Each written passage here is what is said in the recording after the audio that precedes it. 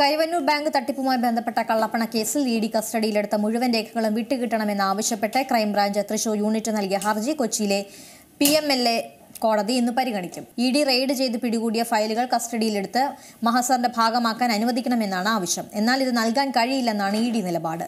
നിക്ഷേപകർ ബാങ്കിന് മുന്നിൽ യാചിക്കുമ്പോൾ തമ്മിലടിക്കുകയല്ല വേണ്ടതെന്നും ക്രൈംബ്രാഞ്ച് ആവശ്യം അവക്കുമാണെന്നും ഇ ഡി മറുപടി നൽകി. ഏറ്റവും പുതിയ വാർത്തകളും വിശേഷങ്ങളും വിരൽത്തുമ്പിലറിയാൻ സി മലയാളം ന്യൂസ്. എല്ലാ ഡിജിറ്റൽ പ്ലാറ്റ്ഫോമുകളിലും ലഭ്യം.